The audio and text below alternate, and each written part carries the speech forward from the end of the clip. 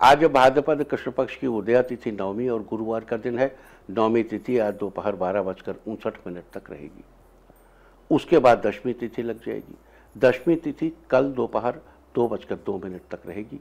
आज सुबह नौ बजकर पचास मिनट तक ध्रुव योग रहेगा, उसके बाद व्याघात योग लग जाएगा, जो कल की सुबह नौ बजकर छियालीस मिनट तक रहेगा।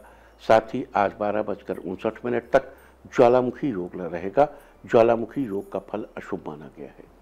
इसके साथ ही आज रोहिणी नक्षत्र है। रोहिणी नक्षत्र आज पूरा दिन पार करके कल सुबह पाँच बजकर बाईस मिनट तक रहेगा। और इसके अलावा आज रात एक बजकर इकतीस मिनट से कल दोपहर दो बजकर दो मिनट तक भद्रा रहेगी। आगे हम इसी पर विस्तृत चर्चा करेंगे। आज हम सबसे पहले बात करेंगे मुकदमा दायर करने या अपनी बात रखने के योग की, यानी कि याई जैद योग की। तो बता दूँ कि आज ये योग सूर्योदय से दोपहर बारह बजकर सत्तावन मिनट तक रहेगा। और इसके बाद बात करते हैं सर्वार सिद्ध योग, यानी कि सारे काम बनाने वाले योग की। तो आज ये योग नहीं बन रहा है। अब ये योग 17 अगस्त की सुबह छः बजकर चवालीस मिनट से लेकर अगली सुबह सूर्योदय तक रहेगा। इस क्रम में आइए, अब चर्चा करते हैं आज के शुभ मुहूर्त, यानी कि फेवरेबल टाइम की।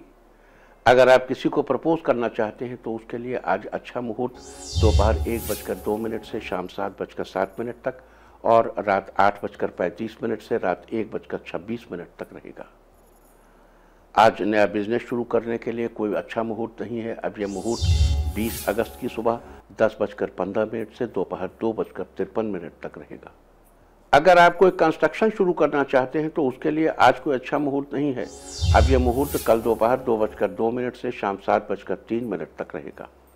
किसी इंडस्ट्रियल इंस्टीट्यूशन में लेन देन करने के लिए आज अच्छा मुहूर्त दोपहर एक बजकर दो मिनट से शाम सात बजकर सात मिनट तक रहेगा। आज सिजेरियन ऑपरेशन कराने के लिए अच्छा मुहूर्त दोपहर एक बजकर दो मिनट से शाम सात बजकर सात मिनट तक और रात आठ बजकर पैंतीस मिनट से एक बजकर तीस मिनट तक रहेगा। अगर आप कोई जॉब ज्वाइन करना चाहते हैं तो उसके लिए आज कोई अच्छा मुहूर्त नहीं है। अब यह मुहूर्त तेईस तारीख को सुबह पाँच बजकर पचपन मिनट से, दोपहर बारह बजकर तेईस मिनट तक और दोपहर दो बजकर बयालीस मिनट से शाम पाँच बजकर पाँच मिनट तक रहेगा। अगर आज कोई मेडिकल ट्रीटमेंट शुरू कराना चाहते हैं तो उसके लिए आज कोई अच्छा मुहूर्त नहीं है। अब यह मुहूर्त कल यानी चौदह अगस्त की दोपहर दो बजकर दो मिनट से रात आठ बजकर इकतीस मिनट तक रहेगा। और अब बात आती है अशुभ समय की। आकाश में कभी कभी ग्रहों की मिलीजुली इलेक्ट्रोमैग्नेटिक फ़ील्ड कुछ क्षणों के लिए नेगेटिव हो जाती है। इस अशुभ क्रांति सामने से एक नेगेटिव स्पार्क पैदा होता है। इससे चारों तरफ़ नेगेटिविटी फैल जाती है। इस समय में कोई भी शुभ कार्य करने से सफलता नहीं मिलती। आज कोई अशुभ समय नहीं है। अब यह अशुभ समय 15 अगस्त की शाम पाँच बजकर उनसठ मिनट पर रहेगा।